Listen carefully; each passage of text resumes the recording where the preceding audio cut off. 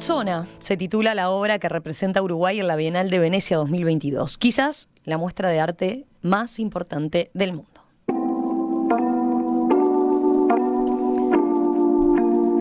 En esta exposición, que continuará abierta hasta noviembre, uno puede encontrarse con enormes rollos de tela, mangas colgadas en la pared, un espejo y un sastre que toma medidas de los espectadores. Esto es Persona, una obra interactiva que reflexiona sobre cómo se cubren y distinguen los cuerpos, pero que también tiene que ver con la historia personal del autor. Gerardo Goldwasser es nieto de un sastre que estuvo preso en el campo de concentración nazi de Buchenwald y que pudo sobrevivir por sus conocimientos trabajando con la vestimenta. Les proponemos ahora conocer más de persona, su trasfondo y cómo se llevó a cabo. Para eso estamos ahora con Gerardo Goldwasser, artista, docente y diseñador gráfico, y con los dos curadores de la muestra. Pablo Uribe, también artista, quien representó a Uruguay en Venecia en 2009, y con Laura Malosetti, investigadora y ensayista, doctora en Historia del Arte.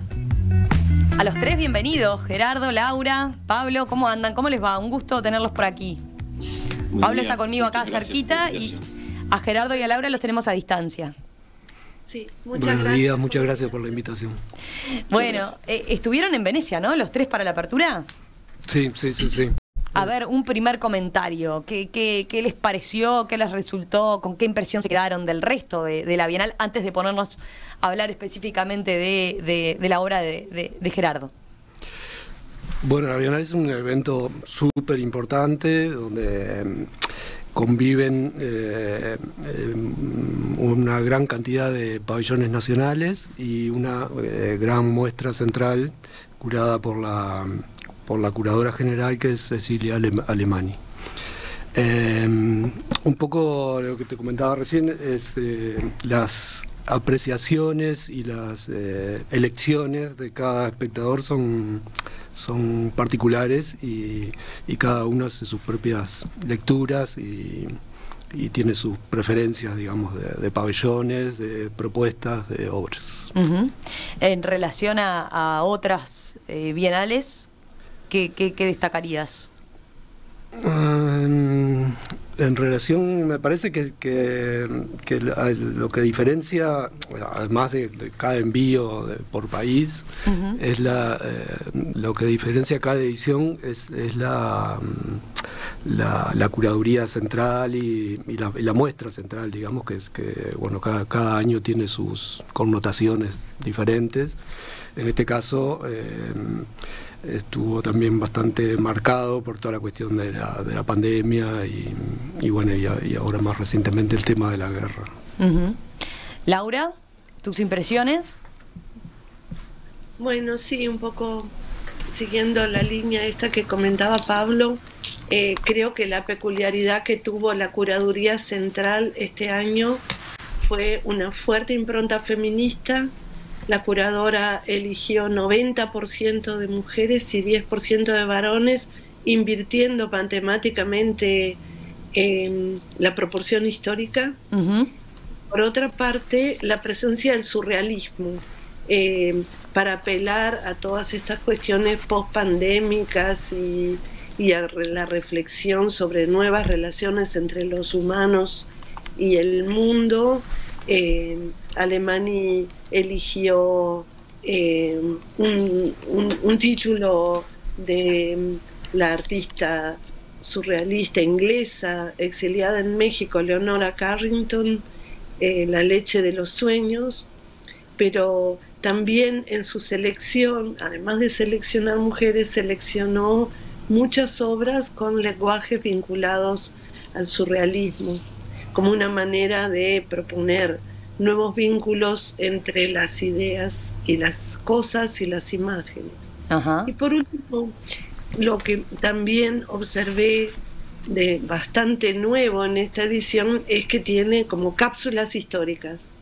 O sea, no es todo arte contemporáneo, sino que cada eje tiene em, artistas del pasado. Bien. Gerardo, ¿las tuyas? Este, bueno, yo mm, había estado en Venecia hace algunos años este, de visita y evidentemente para mí ha sido un, cambio muy importante participar como artista, ¿no? Este, es una visión absolutamente diferente, este, es una sensación este, muy, muy múltiple de, honor, agradecimiento y, una enorme responsabilidad, ¿no? Este, y, ya aprovecho para comentar que fue un privilegio tener a, Laura y a Pablo como juradores en todo este proyecto, desde, desde el comienzo de la preparación del, del concurso hasta los este, últimos, eh, estos últimos días de, la inauguración de, la Bienal. Eh, antes de, entrar en los detalles de, eso, de qué les implicó a ustedes como curadores, qué le implicó a Gerardo, quería preguntarles, a ver, eh, para quienes no estén tan familiarizados con el mundo del arte quizás, ¿qué importancia le dan a, estar en, la Bienal de Venecia? Pablo, capaz desde tu experiencia como artista que, representó Uruguay allá en, en 2009, ¿qué significa? Y bueno, es un poco lo que decía al principio, es como el evento más eh, central del, arte contemporáneo y, eh, mundial.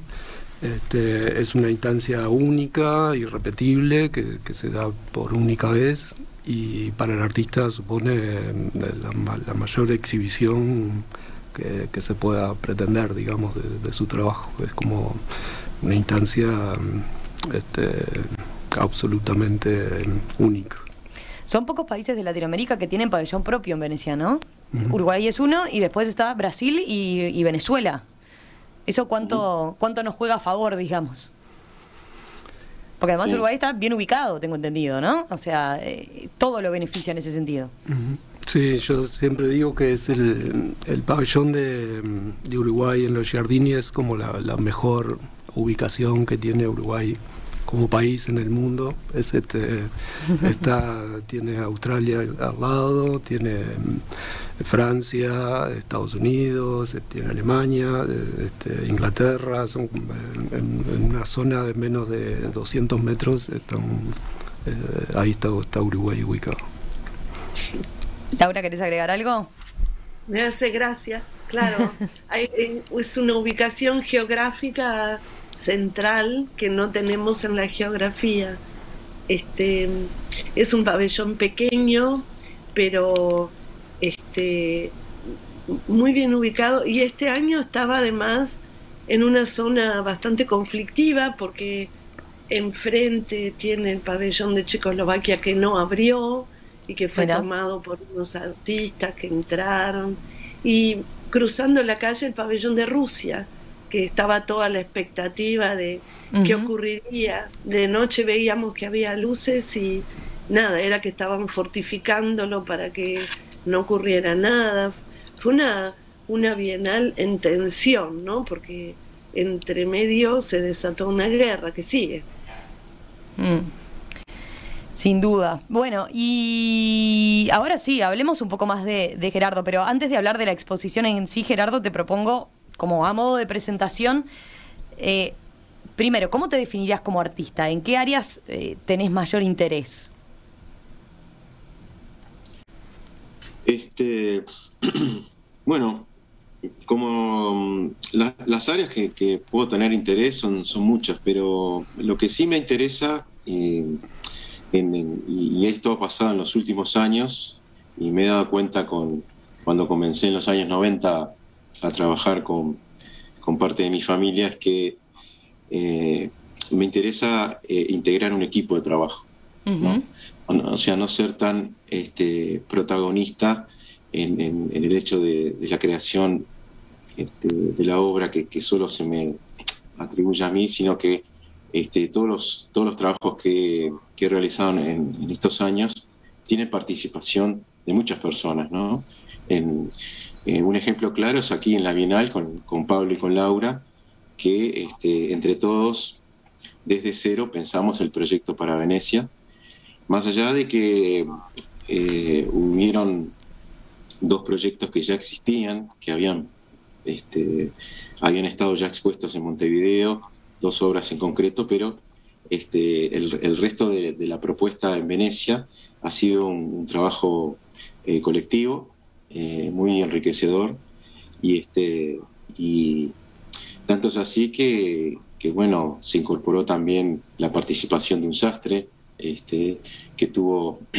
A ver, ahí, ahí tenemos una, definición más general, capaz que como, como, artista, te, decía yo, la sastrería es un interés constante tuyo, ¿no? Y tiene que ver con, tu familia también. Sí, hace, hace algunos años decidí trabajar con mi familia, este, decidimos cruzar nuestras profesiones y, este, y ver qué, qué podíamos hacer en, en conjunto, ¿no? Este, mi taller estaba situado en, la planta alta de, la sastrería de, mi padre, en, el centro de Montevideo, un, pequeño, un pequeño altillo. Y, este, y bueno, entre subidas y bajadas de ese altillo hacia la planta baja que estaba el taller de, sastrería, planificábamos cosas todos, ¿no? Con mi tío también. Entonces, este, eh, es, es, difícil, o sea, es, muy lindo, eh, quiero decir, decir de que todas esas cosas eh, no las hice yo solo. ¿no? Así que ya venía, el trabajo en equipo viene de, hace tiempo. ¿Cómo es para un artista trabajar en equipo? Y creo que es una, este, una para mí es una situación muy buena porque en, principio te baja el ego, ¿no? Mm. Este, porque uno no, no tiene por qué tener la verdad de nada y cualquier este, propuesta que pueda venir de cualquier lado es posible para la construcción de una obra, ¿no? Este, y más en el, campo de que nosotros estamos trabajando, Pablo también, que, donde las, las ideas se asocian a, un montón de instrumentos posteriores para construir dispositivos, ¿no? Entonces, este, en ese sentido, creo que cualquier, cualquier escenario es posible, ¿no? Para, para construir un proyecto de arte. Mm. A ver, habrá oyentes que se quedaron preguntándose cómo, cómo es eso de por compartir taller, cómo podían eh, interactuar y de qué forma eso, el taller de tu padre de sastrería con el tuyo como artista. Eh, ¿Cómo se lleva la, sastrería al arte, a, una exposición de arte en particular?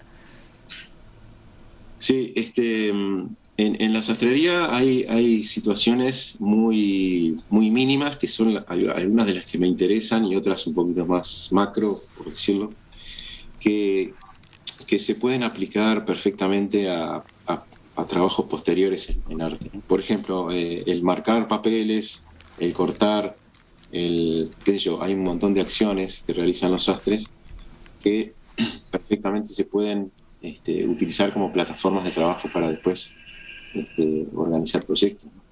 Este, mismo en la Bienal, eh, la instalación mesa de corte está inspirada este, en las mesas de corte que, habitualmente vemos de, manera horizontal en los talleres.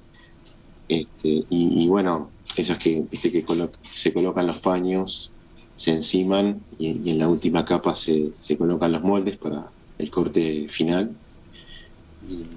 y bueno, eh, ese proyecto está inspirado en, esa estrategia que utilizan los astres, este, esa forma de trabajo, quiero decir, y se convirtieron en, esos rollos este, que, pueden verse como elementos escultóricos o, mismo como una instalación en su mm. totalidad. Sí, ahora, ahora vamos a ver las, las imágenes para entender más la, la obra, esta obra de Pablo, esta instalación de Pablo y ahí cuando dice, ¿no? Cómo funciona cada uno por separado y cómo, cómo en el conjunto.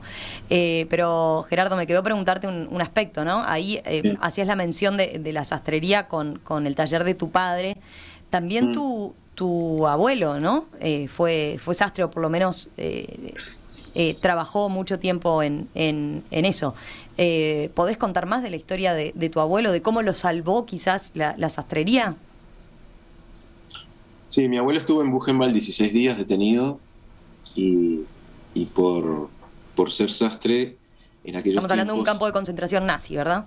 Digo, para... Este, 1938 y, y en aquellos tiempos era muy común explotar a la gente por sus oficios eh, dándoles a cambio la posibilidad de vivir, ¿no? Entonces este, estuvo 16 días eh, confeccionando los uniformes Este, por suerte ya había tenido una visión de, cómo se venía la cosa y, había gestionado los papeles de salida este, de Alemania con una agencia de ayuda.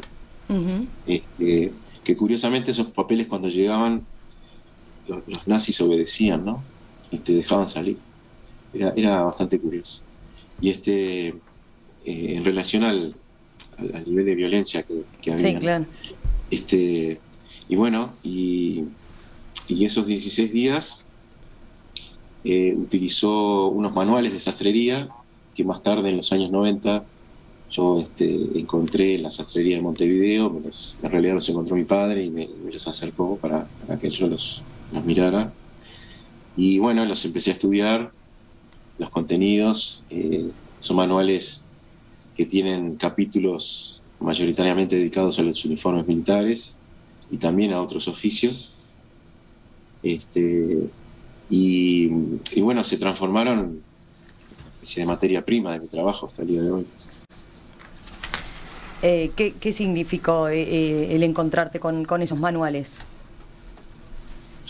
Eh, significan muchas cosas, significan, por ejemplo, este, relacionar el, primer trabajo de la sastrería con la violencia, porque eran, manuales que no tenían fecha de edición, ni de imprenta, ni, datos de impresión, pero estaban editados en, alemán.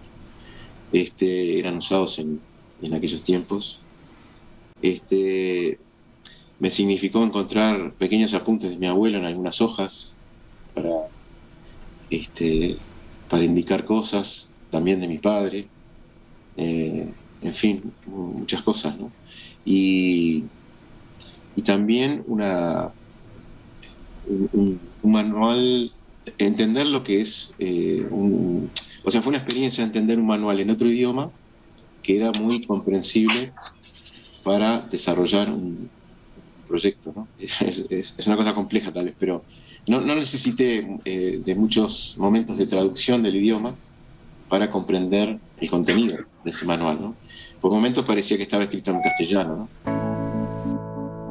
Hacemos una breve pausa y enseguida continuamos conversando sobre Persona, ese título de la obra que representa a Uruguay en la Bienal de Venecia 2022, como decíamos, quizás la muestra de arte más importante del mundo. Hoy en perspectiva estamos hablando de arte.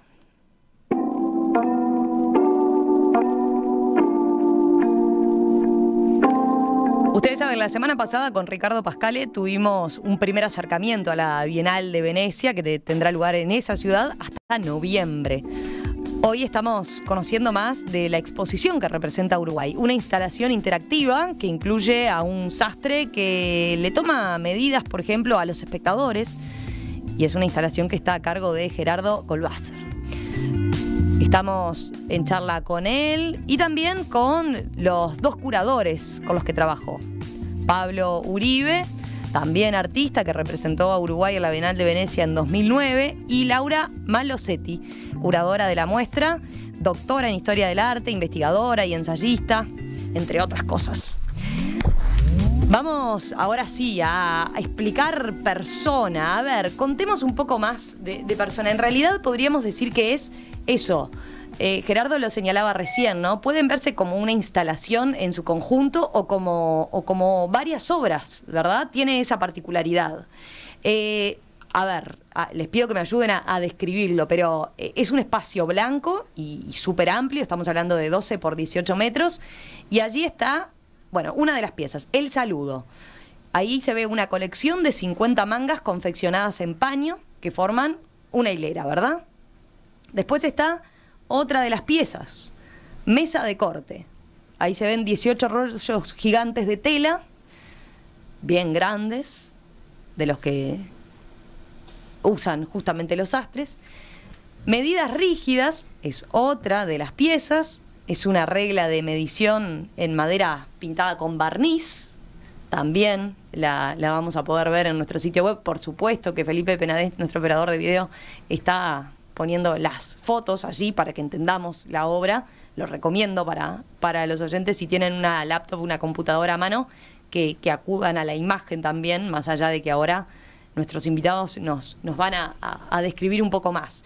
Y medidas directas, un espejo que está instalado en la pared y un palet de madera que está ubicado en el piso como base de ese espejo. Y es una obra que está en el acceso del pabellón, ¿verdad? Esta, el de medidas directas. Eh, y además tuvo esta, la, performance del sastre. Pero, a ver, decíamos que son varias obras porque algunas se han expuesto antes, incluso por separado. Eh, por ejemplo, las, las mangas de, uniforme, ¿no? Gerardo. Oh, a ver, Pablo, ibas a, acotar algo. No, no, que, hable, este, que hable Pablo. Dale. Eh, yo veo a, los tres vemos a Persona como un proyecto eh, unitario. Es una instalación única conformada por cinco piezas.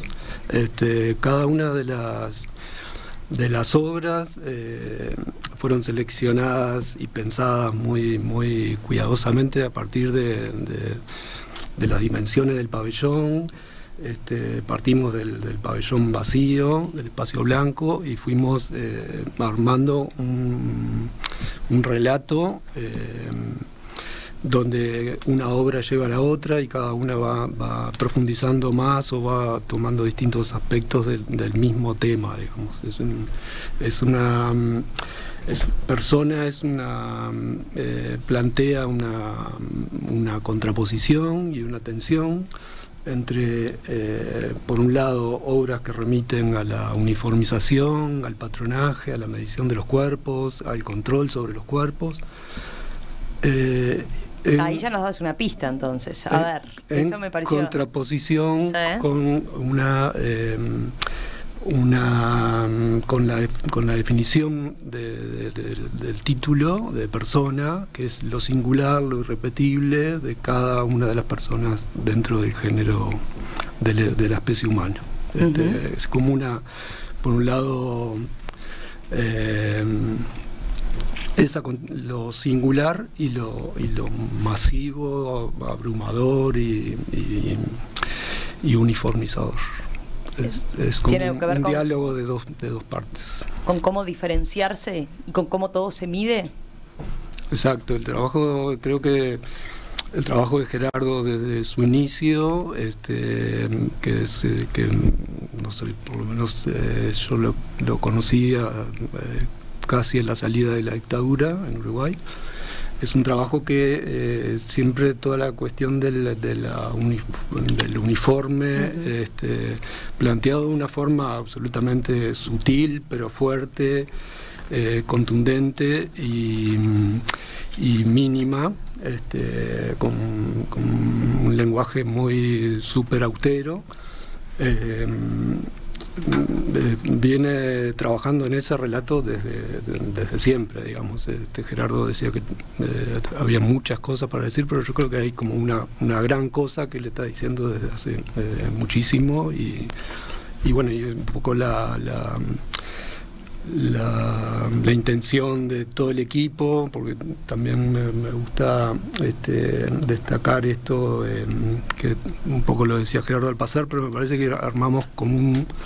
Eh, no solo es un equipo curatorial y un artista, sino que creo que hicimos, entre los tres, hicimos un, un, gran equipo que, que, excede, creo que la curaduría, la obra, y digo, que, fue toda una, gran mistura donde eh, nos metimos con todos los aspectos de, Ya que lo mencionas, capaz que capaz que Laura también nos puede contar más de, eh, en qué, porque capaz que no todo el mundo lo tiene claro. Eh, ¿qué, ¿Qué consiste el trabajo de curaduría en una instalación? ¿En qué consiste el trabajo de curaduría en una instalación como esta, no? Sí, bueno, es difícil generalizar, ¿no? O sea, hay curadurías y curadurías y eh, en general ocurre, eso comentábamos la otra vez con Pablo, que en, las obras de arte contemporáneo muchas veces, como ocurrió por ejemplo con el envío de Argentina, ¿no? el, el artista o la artista envía su obra pero sin curador y luego un curador firma un texto para el catálogo, ¿no? Y es una relación, si se quiere, de alianza, de alianza mm, circunstancial o estratégica. En este caso, nosotros trabajamos más de un año, eh, tal vez porque ellos dos son artistas, porque Pablo es un artista con un pensamiento curatorial, o sea, ha dado vuelta a museos, colecciones, tiene una permanente reflexión sobre, sobre las instituciones y sus maneras de exhibir y de representar. Y yo tengo un, trayecto largo de hacer exposiciones del pasado, ¿no? del siglo XIX.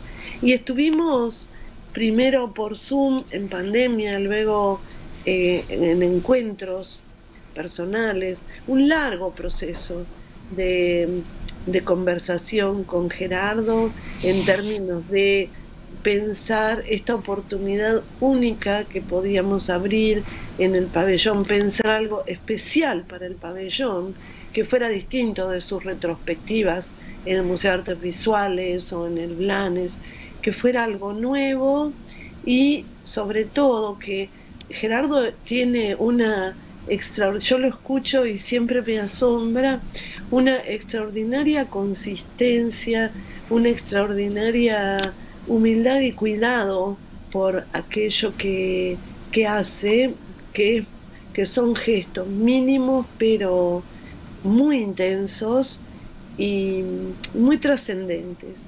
Y lo que hicimos fue, por un lado, eh, procurar materializar en unas dimensiones de bienal, o sea, sacar eh, a Gerardo o, la, animarlo a lanzarse a una mm, eh, a unas dimensiones nuevas, sobrehumanas, ¿no? porque sus mesas de corte habían sido hasta ahora eh, su, su trabajo en una escala humana los rollos, esos, los 18 rollos que ocupan casi todo el centro del pabellón eh, y que hay que rodear eh, y tienen los moldes de los uniformes, son de escala sobrehumana, o sea, son de, una escala bastante como eh, aterradora, ¿no? Uno entra y se encuentra con esos rollos gigantescos, todos negros, y, esto requirió una logística importante y acá me parece que tengo que mencionar al cuarto miembro de este, de este grupo que fue eh, eh, Niklaus Strobel. Niklaus colaboró en todos los primeros días del montaje eh, con Gerardo y Pablo, pero además em, sobre el final también ha sido un interlocutor inteligente y, y risueño que, con quien hemos tenido mucho placer trabajando. Es importante también para mí el proceso que hizo que cada uno de nosotros se descolocara del lugar habitual eh, y, y, se colocara en un lugar nuevo. Hubo una química muy especial eh, y una química con el lugar como decía Pablo, ellos tres, Pablo, Gerardo y Niclau, fueron a Venecia el 20 de marzo, o sea, más de un mes antes de la apertura, y mm, hubo un sponsor de Uruguay, que es la empresa Trama, que donó una tela especialmente que se hace en Prato, ahí muy cerca de Venecia. Esto para los italianos tiene un significado especial que nosotros hasta ese momento desconocíamos. Y por otra parte, la presencia del sastre tomando medidas, provocando esta... Bueno, a ver, ahí, ahí vamos a, una, a un elemento que, llamó la atención, ¿no? Es como una parte interactiva de, la muestra, es ese quinto elemento, esa quinta, quinta pieza que, que alguien podría preguntarse, bueno, ¿por qué un sastre midiendo a las personas sería calificado de arte, ¿no? A ver, los escucho. Este, yo creo que es una. perdón, perdón. Creo que es una, mm, una performance súper, súper interesante porque eh, en realidad está el sastre y está el público. Es una performance donde intervienen las dos partes, donde el público eh, se lleva sus propias medidas y, y es un es una obra que trasciende al pabellón, que sigue funcionando afuera y sigue funcionando en el tiempo. Eh, yo, no sé, eh, hoy de mañana abrí la billetera y tenía el papelito que me dio el sastre con, con mis propias medidas. O sea, creo que es una... fue un poco también uno de los objetivos, er, era cuando nos planteamos la instalación, cómo conformarla, qué tipo de obra, era que la que pudiera ser vista eh, en escasos minutos, que sea una obra que tenga un impacto, una contundencia, que, dispare ideas, que dispare eh, sensaciones y, siga eh, retumbando en la cabeza del espectador una vez que está fuera del pabellón y una vez que se fue de Venecia y, esa, fue un poco la pretensión. A ver, Gerardo, contanos vos desde como, como autor, eh, ¿qué buscaste representar? Eh, después cada uno lo que experimente desde que entra ahí y, se encuentra con ese espejo, ¿no? Que, lo refleja uno, que lo hace mirarse, después sigue y, ve esos rollos enormes, ve esa, hila, eh, esa hilera de, mangas, ve esa regla. contanos, contanos vos a ver qué, qué es lo que buscaste que, le, que le pasara a quien está visitando la obra. Eh, bueno, esta es una, interpretación mía, no, no, hay ninguna garantía de que, haya sucedido. ¿no? Este, la, persona que entra, que puede entrar al pabellón, tiene una primera oportunidad de subir a un pallet y, como dice Pablo este, en, otras entrevistas, un comentario muy lindo que es cambiar el horizonte, ¿no? Sube unos, unos centímetros y este, aunque, aunque no parezca, las cosas cambian. te, ves, eh, te ves a vos mismo en, un espejo eh, incorporado al reflejo de los Giardini, ¿no? De, los que están, este, que entran por la, por la puerta principal, digamos, las, imágenes. Este, y, después de eso ingresás a la, a la exposición y el, y el, panorama, el panorama es, es muy diferente, ¿no? O sea, son, son elementos que tienen de repente ya un, ¿cómo decirlo?, un, significado mucho más asociado a la sastrería, más ya que la primera obra también está inspirada en los probadores, ¿no? de los espejos.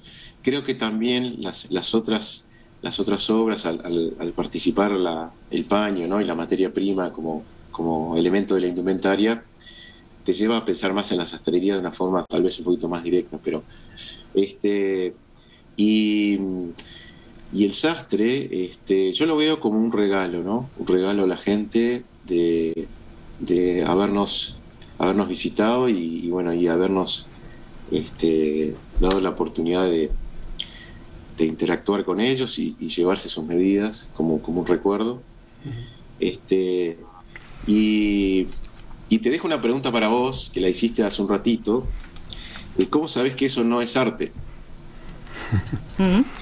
Porque tú dijiste, ¿cómo eso puede ser, puede ser algo así? Que puede ser que hayas preguntado algo así. ¿Cómo, cómo eso es arte? ¿Cómo podemos...? Claro, yo pregunté, dije, hay quien puede cuestionarse si una persona tomando medidas como lo vemos ahí, eso es arte. Claro, claro. Sí, sí, sí. Yo creo que la, la, performance... No, no sé, no tengo, no tengo respuesta. La performance eh, del sastre o, la, o el espejo... Eh, Pablo me convenció, eh, debo admitir. Son las dos obras que, que justamente refuerzan esa idea de, persona como, como único.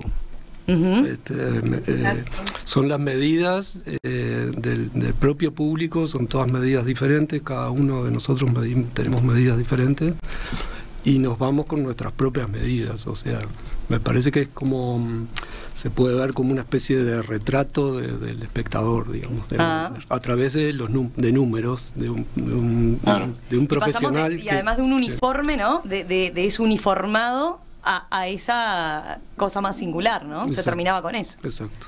Sí, yo creo que la, precisamente plantear esa tensión, ¿no?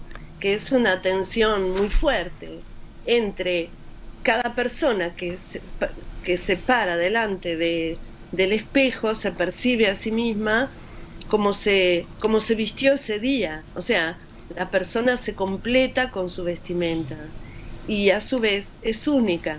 uno entra a un pabellón donde está eh, una, una alusión bastante directa a la maquinaria de destrucción de personas que implica la guerra, o sea, un, manual de uniformes de guerra, una fila de mangas de uniforme, que se llama saludo además. Y el sastre es un performance, es un artista, un actor, y cada uno de nosotros se transforma en un personaje, en, en un actor de esa performance, que creo que además de un regalo, es un llamado de atención acerca de tu singularidad, ¿no? Y, un llamado de atención sobre esa, en esa tensión que plantea el pabellón. La ausencia total de color y de sonido, y el único color y sonido sos vos mismo, ¿no? Me convencieron, Gerardo, me convencieron. No, no, pero mirá que yo no, no quería convencer. Este, yo en, sí no convenzo a nadie. No, no, no, pero, pero hay que mirarlo en el, en el conjunto, ¿no? De, de, eso que se va experimentando en el que, yo, yo, también lo veía a Demis Marín, se llama el sastre, ¿no? Un, tipo maravilloso de Mestre, este, que te daba como, como una especie de radiografía. Tu, tu pierna mide tanto, tu tu brazo mide tanto, tu cuello mide tanto, y, te llevabas eso, ¿no? Es, eso me pareció una cosa como muy linda, que, también es una, porque la exposición tiene, eh, tiene como una, estrategia de, tomar medidas en, varios niveles, ¿no? Entonces, nos pareció que el sastre las ponía en práctica de una manera muy, muy directa, ¿no? Este, estirás un brazo y te dice, mide 65. Chao. No hay, no hay manera de errarle, ¿no? Sí, hay, hay dos cosas eh, bastante que, tuvimos en cuenta también desde el inicio para, para el proyecto y luego para la, propia instalación. Eh, dos aspectos bien importantes que, me gustaría eh, señalar. Uno es, este, le dimos gran importancia a lograr un espectador activo. Este, es algo que nos, nos, interesó desde siempre, nos parece que es, que es una estrategia que el espectador, no el espectador que va y mira, sino un espectador que participa de la, de, la propia instalación. O sea, eh, todas esas eh, formas en negro, eh, en exclusivo negro, son contrastadas por la presencia del público que, desfila entre sus, entre sus pasillos y recorre la sala vestido de colores y con este, la, participación del público también en la, la, performance también es un hecho bastante importante. Habían varias performances en, la Bienal pero eh, el planteo era justamente, eh, se realizaba la performance y el público rodeaba y observaba. O sea, me parece que esto, eh, en ese sentido, fue un cambio importante. Y el segundo aspecto que también fue muy importante para nosotros es la tener en cuenta el lugar donde se exhibe la obra, que en este caso Venecia era como, es un lugar lleno de particularidades la Bienal de Venecia y en particular estar instalado en los Giardini con, con otros pabellones. Eh, entonces, eh, ahí, mm, por un lado, las primeras miradas de Laura mm, sobre la importancia de Venecia con el con el, eh, con el comercio de la seda, con Oriente y Occidente. Eh, la cuestión de la máscara fue una, una, cosa también bastante que persona es, la máscara del actor. Y empezamos a pensar la indumentaria como la máscara del cuerpo. Este, entonces empezaron a armar como muchísimas relaciones donde la ciudad donde se estaba exhibiendo eh, estaba también formando parte del público y la misma ciudad. Y creo que eh, por último, que el sastre también fuera local era también una, cosa bastante importante. Laura quería agregar cosas. Sí, no, por un lado, em, respecto del sastre. Eh, el sastre es veneciano, Demis, y aparte fue involucrándose con los días en su rol eh, y, interactuaba, el público hacía fila eh, para, para hacer sus medidas. Y lo que es muy importante, el sastre te tocaba. O sea, no solo estaba esa interacción visual, sino que con mucha delicadeza, y había gente que le daba un poco de miedo y no se animaba, otra que sí, eh, tocaba los cuerpos con, con, la cinta métrica, y parece una, una cosa ínfima, pero sin embargo eh, resultaba muy potente en la performance. Y esto que decía al final Pablo me parece fundamental, y es em, cómo, cómo y, luego también se sumó cuándo eh, y dónde instalar esta muestra, en el sentido de, de instalar una muestra sobre lo negro de la pesadilla de los uniformes en una exposición donde estaban los colores de, la, de, la, de los sueños surrealistas eh, contrapuesto eh, el silencio y la ausencia de tecnología absoluta en nuestro pabellón.